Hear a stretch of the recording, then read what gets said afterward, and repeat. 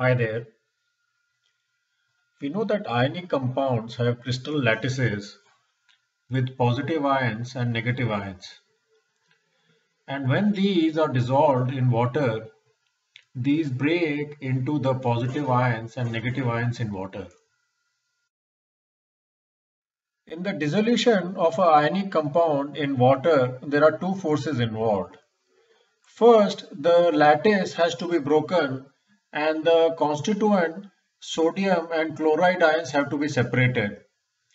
So because sodium has a positive charge and chloride ion has a negative charge, energy is required to pull apart the sodium from the chloride ion. In the second step, energy is released in the hydration process. Water molecule is polar.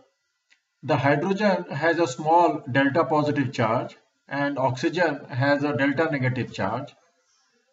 So the water molecules orient such that the negative oxygen surrounds the positive sodium ion and the positive hydrogen surrounds the chloride ion. And in this process, sodium chloride gets dissolved in water and energy is released in this hydration process. The definition of lattice energy is the energy released when one mole of ions are brought together from infinity.